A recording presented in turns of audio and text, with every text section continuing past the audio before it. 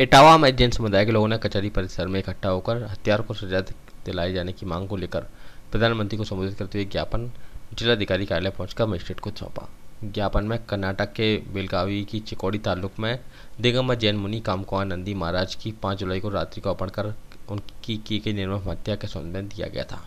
इटावा जैन समाज के अंदर संजू जैन ठेकेदार श्री दिगंबर जैन विकास समिति के प्रदेश महामंत्री धर्मेंद्र जैन ने कहा कि आज भारत के इस सबसे जघन्य हत्याकांड ने देश के गौरवशाली इतिहास पर एक काला धब्बा लगा दिया है।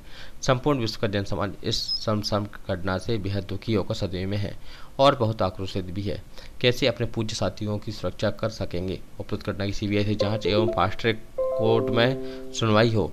जैन साधुओं के निर्विघ्न सुलभ बिहार में तथा प्रवास में समुचित सुरक्षित व्यवस्था हो। लंबे पद बिहार में हाईवे पर हर पाँच किलोमीटर पर जैन साधुओं की ट्रेनिंग की व्यवस्था की जाए। जैन और लवली जैन ने कहा कि सरकार से अनुरोध किया कि हमारे जैन मुनियों को इतनी जो कठिन तपस्या कर रहे हैं, उनके लिए सिक्योरिटी और सुरक्षा होनी चाहिए। बहुत ज़रूरी है, तभी सभी लोग प्रयास कर रहे हैं। और जैन संतों सरकार द्वारा सुरक्षा मिले। आज अगर पूरे भारत में सबसे ज़्यादा टैक्स बढ़ता है तो जैन समाज बढ़ता है, इसलिए जैन मुनि की सुरक्षा सरकार को करना चाहिए।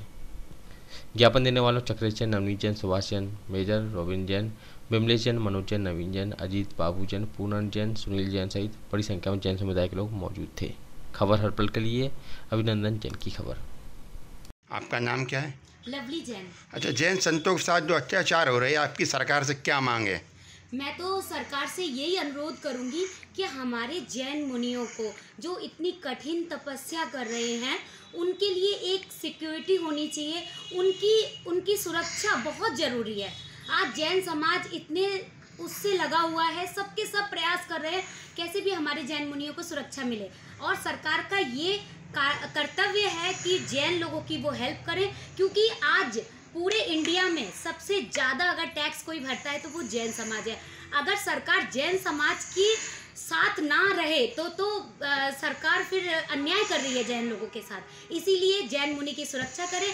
मैं सरकार से यही अनुरोध कर रही हूँ हाथ जोड़ के निवेदन कर रही हूँ कि वो जैन मुनियों की सुरक्षा करें उनके लिए एक सिक्योरिटी दे हर संतों को आ, वो अपने उसमें रखें। एक आ, उसमें रखें मतलब सिक्योरिटी के साथ रखें थोड़ा।